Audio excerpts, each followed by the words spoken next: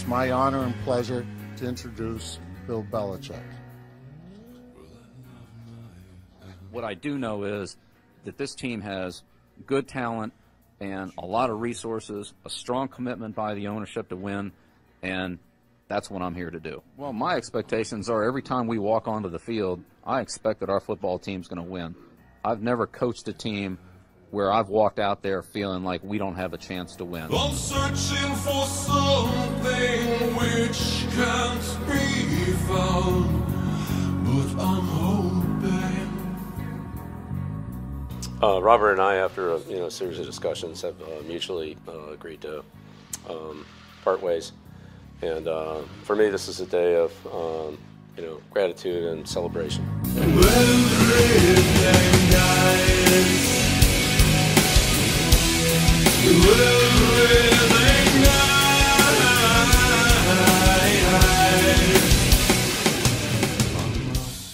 Greetings, Patriots fans, and welcome to a bonus episode of Patriots Afterthoughts.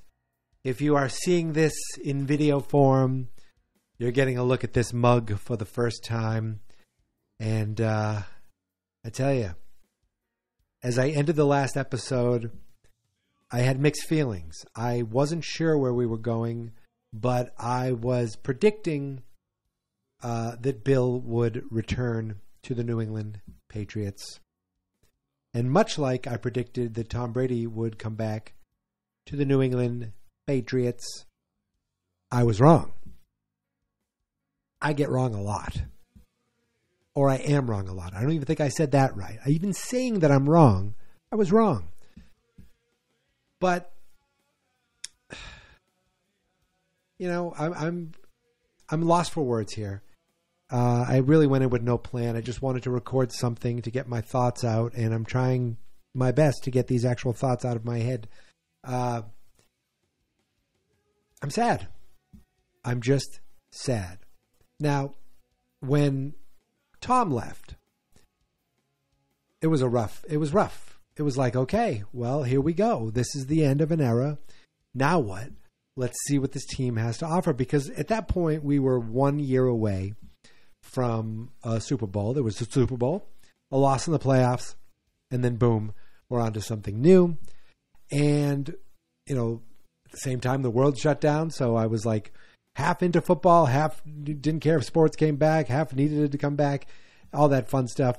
But even though Tom left, a player left, the team still felt like this is this is the team I love. These are still the New England Patriots. Uh, it is still.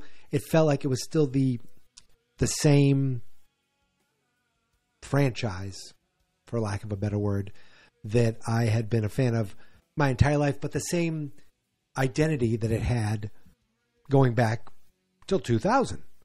Uh, of course, more in 2001. Because Bill was still there. He was still running the show. He still had his coaching staff that was a majority of the same people. Uh, you know, they came and went. Josh was still there right at the beginning. Uh, and some players that we knew were coming back as coaches. There were still players that, that won Super Bowls that were on this team. It felt like the Patriots, just with a bit of a facelift, a major facelift. And of course, the first year they get Mac, they go to the playoffs. Okay, we're back. This is where we want to be. Things haven't worked out since then.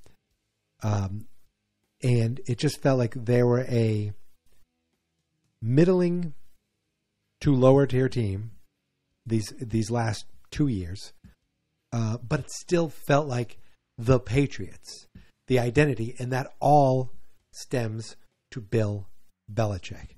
Now today, January eleventh, two thousand and twenty-four, that identity is gone. I love this team. I will continue to love this team. But it's like, it really is feeling like, oh, we're meeting a new, you know, a new beginning more than, more than Brady. It really is because it's the man who puts the team together that's gone. Now there's going to be new people putting together a new team. How many people, how many players are going to be back? You know, two years from now, is there going to be anybody from this year on that year? I would damn well hope, uh, especially these young guys. But it's not really about the future. Today, this episode isn't really about the future. You can tell I really haven't talked too much or, or planned too much of this. This episode is about just expressing gratitude. I have gratitude for what Bill Belichick brought to Patriots fans and to New England, bringing Tom Brady in and changing the face of this franchise and the face of, of the NFL. Uh, 24 years. You know, I was telling someone that, uh, I was telling my nephew that, and he is, uh, oh my God, he will be 12 this year.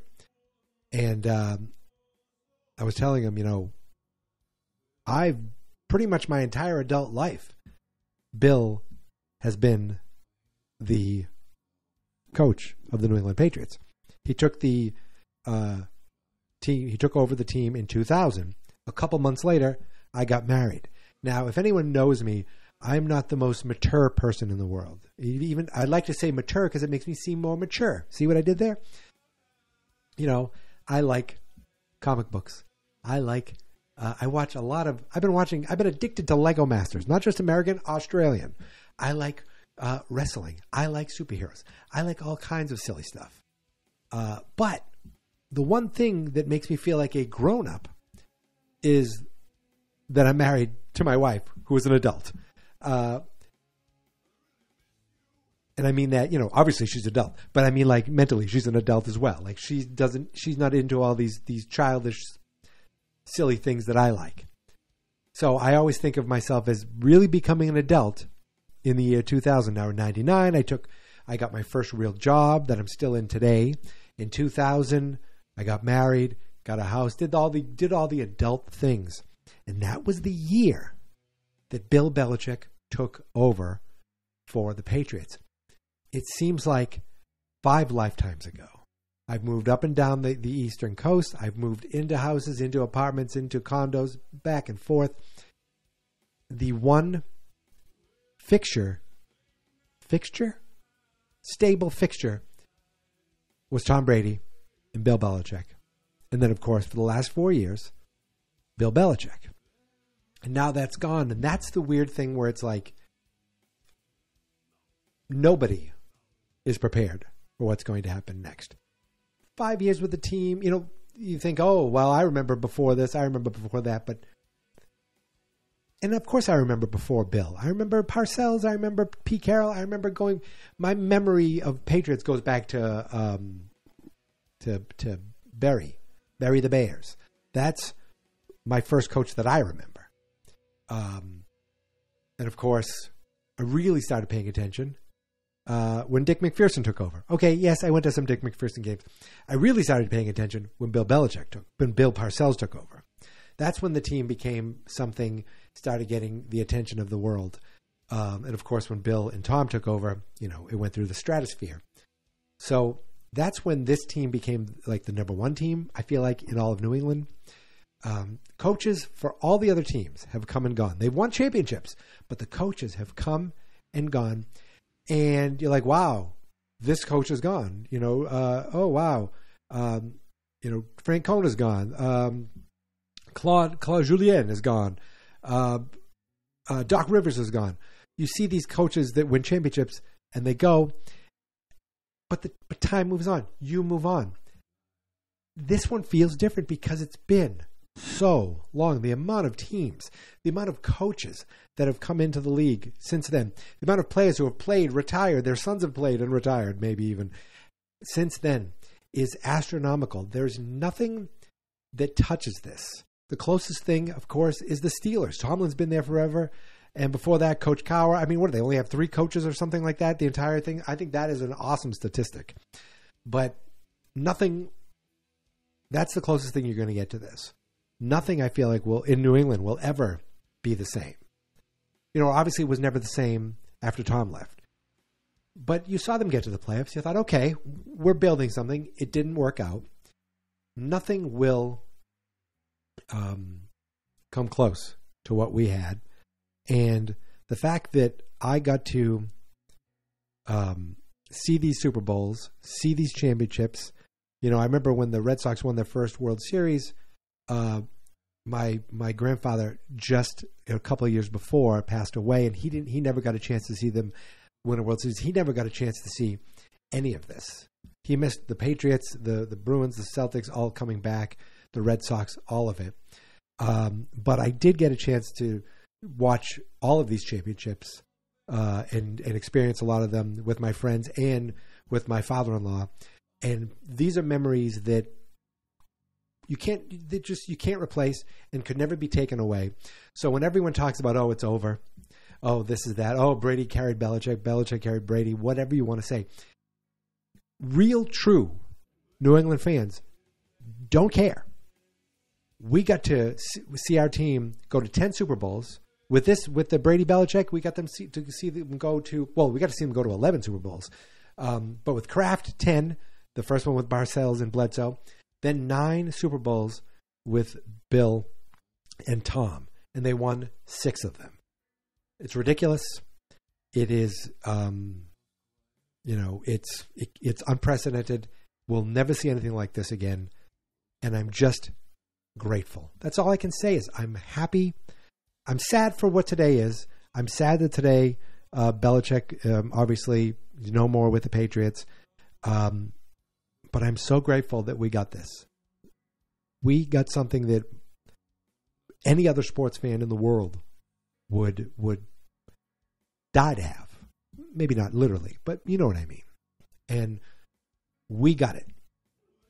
We've been spoiled, and maybe someday we'll we'll be spoiled again. Probably not. But you never know. I'm a Patriots fan. I'm sad the Bill's gone.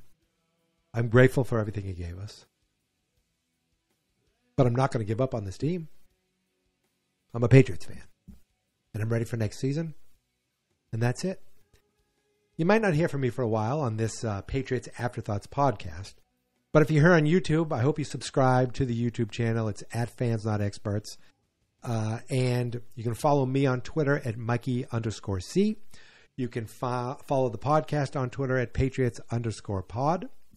Maybe there will be uh, little bonus episodes coming because this off season is unprecedented, like nothing we've ever had before. I don't care about the the Tom leaving, Cam taking over, Mac taking over. Nothing is going to be like this with the number three pick and a new regime coming in it will be interesting, and um, I'm going to be along for the ride because I love the Patriots. And that's it. So thank you for an unsuccessful football season, but uh, I still had fun doing the podcast, and I have fun making these videos now. I'm trying to really embrace the YouTube of everything, and uh, that's it. So um, thank you so much for listening. Thank you so much for subscribing. Thank you so much, Bill, and go